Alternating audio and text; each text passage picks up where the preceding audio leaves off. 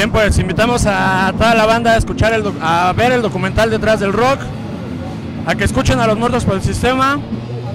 Nos pueden encontrar en MySpace, eh, diagonal muertos por el sistema, en Facebook, diagonal muertos por el sistema.